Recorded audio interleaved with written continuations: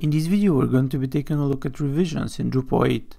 Generally it's nothing fancy but it's still nice to go through it and see how we can use them.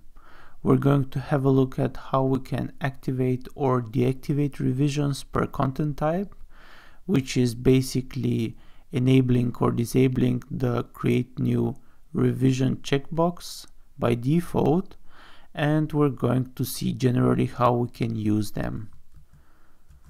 So here we have a Drupal instance installed. And if we just go to the structure content types, if we select for example the article content type and if we click on edit under publishing options, we're going to see that here we could either select or deselect the create new revision to be checked by default.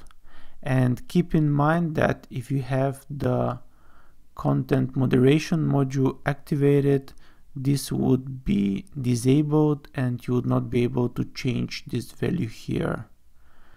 So, but now we don't have that module activated, we just have a normal vanilla Drupal installation. So let's go ahead and see how it looks like with it activated if we just jump to content. And since we are editing here the options for the article if we just edit a article we see that here at the top under published there is a create new revision. So let's quickly have a look at what would happen if we have it disabled. Well basically here it would be disabled as you see.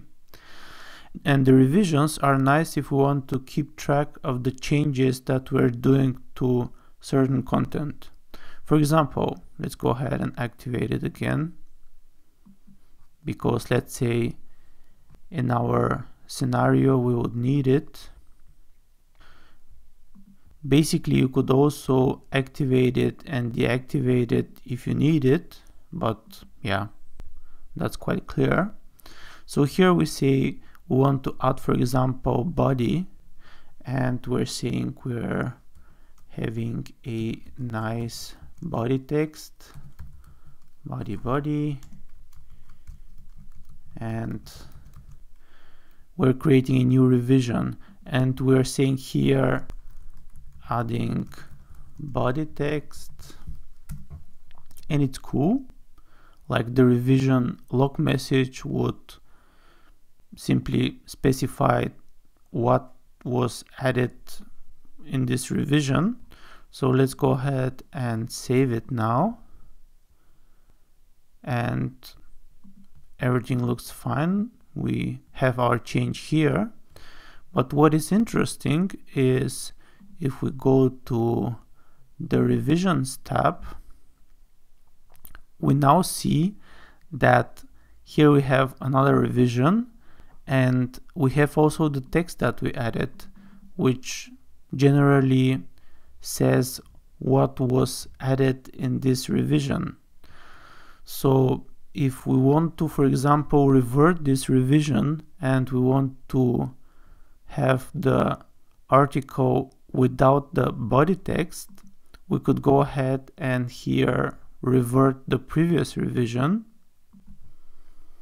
and as we do that we basically create a new revision. And the new revision if we see the content is without the body. There we go. The body is empty but it's not generally deleted. The revision with the body still exists here and we could use it to revert the body text again, which is super cool. That means that this way you are able to keep all the changes and you are able basically to add new stuff and if something gets deleted by mistake or by someone because of not knowing what is the general purpose for example you could easily check the revision and revert the stuff Basically here, before you decide to revert, you could have a look at the revision with the changes that were existing at that point. And if you really want to revert to this revision, you could just go ahead and click on revert again and confirm. And if we just have a look at the edit page, we see that now we have the body text again, which is super cool. So generally this is how you could use revisions in your Drupal project. If you like this video, please have a look at the links in the description, like, subscribe, and thanks for watching.